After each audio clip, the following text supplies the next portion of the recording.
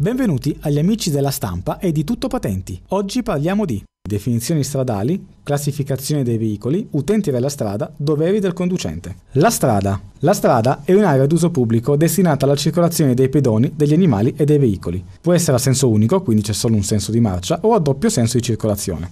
Può essere suddivisa in carreggiate da uno spartitraffico. La strada comprende le carreggiate, le corsie, le piste ciclabili, i marciapiedi, le banchine. Carreggiata. È la parte della strada normalmente destinata ai veicoli e agli animali. Non possono quindi circolare sulla carreggiata i pedoni. Anche la carreggiata può essere a senso unico o a doppio senso. Comprende le corsie, gli attraversamenti ciclabili e pedonali, ma non le piazzole di sosta, le banchine, i marciapiedi, eccetera. Corsia è una parte della carreggiata con una larghezza sufficiente al transito di una sola fila di veicoli, quindi non può mai essere, per definizione, a doppio senso di circolazione, ma può essere attraversata dai pedoni. Nella corsia non possono viaggiare affiancati nemmeno due motocicli o ciclomotori. La corsia può essere specializzata, per esempio le corsie di svolta, può essere di sorpasso, per la sosta di emergenza, di accelerazione, serve a dimettersi in autostrada o strade extraurbane principali, uscire dalle aree di sosta o di servizio, e decelerazione per entrare nell'area di servizio, uscire dall'autostrada o strada extraurbana principale. La corsia viene delimitata da strisce bianche che possono essere continue o discontinue. Intersezione o incrocio a raso. È l'intersezione tra due o più strade che si incrociano allo stesso livello. Può essere regolata da semaforo e richiede la massima attenzione perché si possono incrociare dei veicoli.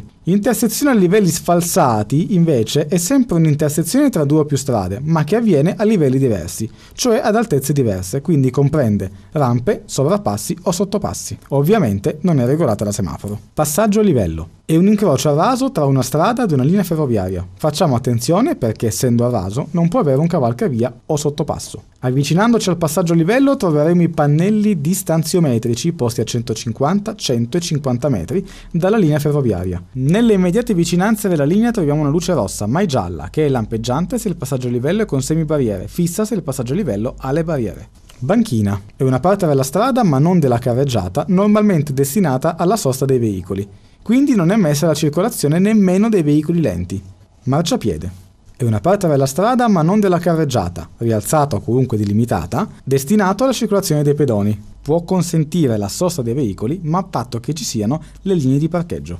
Attraversamento pedonale è una parte della strada e anche della carreggiata destinata al transito dei pedoni che attraversano. Viene segnalato con delle strisce bianche parallele. Sull'attraversamento pedonale è vietato sia fermarsi che sostare ed è obbligatorio dare la precedenza ai pedoni che attraversano la strada. Passo carrabile. È una zona che permette l'accesso dei veicoli alle proprietà laterali, cortile, garage, eccetera. È segnalato con apposito segnale che reca il numero di autorizzazione e l'ente che lo ha rilasciato. Davanti al passo carrabile è vietata la sosta, ma è consentita la fermata. Isola di traffico. È una parte della strada ma non della carreggiata, rialzata o delimitata con zebratura bianca dalla quale è esclusa la circolazione dei veicoli. Serve ad incanalare il traffico in determinate direzioni. Sull'isola di traffico non è ammessa né la fermata né la sosta. Salvagente. È una parte della strada ma non della carreggiata, rialzata o comunque delimitata e che serve a facilitare la salita e la discesa dei passeggeri dei mezzi pubblici e al riparo o la sosta dei pedoni che attraversano una strada. Il salvagente può essere segnalato con una colonnina luminosa di colore giallo integrata da un segnale di obbligo di passare da un lato dell'ostacolo.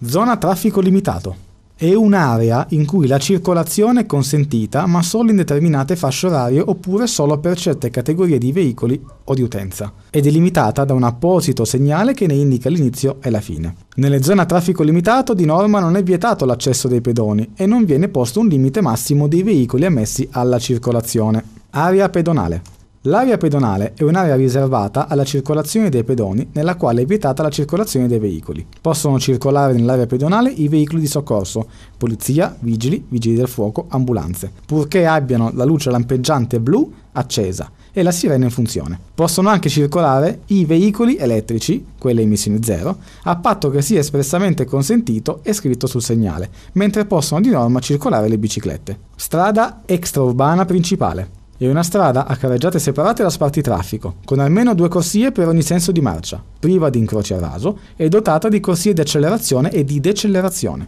È riservata solo ad alcune categorie di veicoli ed è segnalata da apposito segnale di colore blu che ne indicano l'inizio e la fine. Devono avere apposite piazzole di sosta. Generalmente il limite di velocità su strada exurbana principale è di 110 km all'ora. Autostrade. È una strada carreggiate separate da spartitraffico con almeno due corsie per ogni senso di marcia, priva di incroci a raso, dotata di corsie di accelerazione e di decelerazione e priva di accessi intermedi nei quali la circolazione non sia regolata. Per entrare in autostrada si passa generalmente attraverso un casello, si segue la corsia di accelerazione e ci si mette. È riservata solo ad alcune categorie di veicoli, per esempio è vietata la circolazione di ciclomotori, delle biciclette e delle macchine agricole ed è segnalata da un apposito segnale di colore verde che ne indica l'inizio e la fine. L'autostrada deve essere recintata e vi possono circolare tra gli altri i motocicli con una cilindrata di almeno 150 cm3. Vi ringraziamo dell'attenzione che ci avete riservato e vi diamo appuntamento alle prossime lezioni, sempre sulla stampa.it.